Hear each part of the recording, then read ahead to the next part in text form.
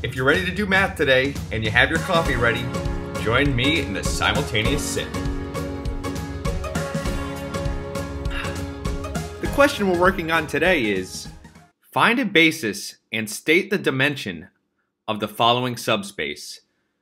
And it's the set of all vectors of the form a minus 4b minus 2c, 2a plus 5b minus 4c, minus a plus 2c, minus 3a plus 7b plus 6c.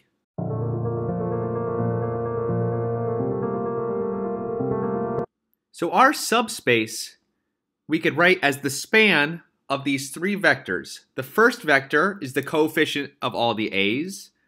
The second vector is the coefficient of all the terms with b.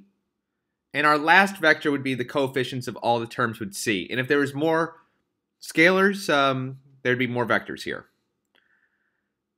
But just because we could write our subspace as the span of some vectors doesn't mean that those vectors form a basis. We need to check that they're linearly independent. To check for linear independence, what we're going to do is take our vectors and form a matrix out of them. And we'll row reduce so we could find the pivot columns. And the pivot columns will be a basis, will form a basis for our subspace. So we'll row reduce.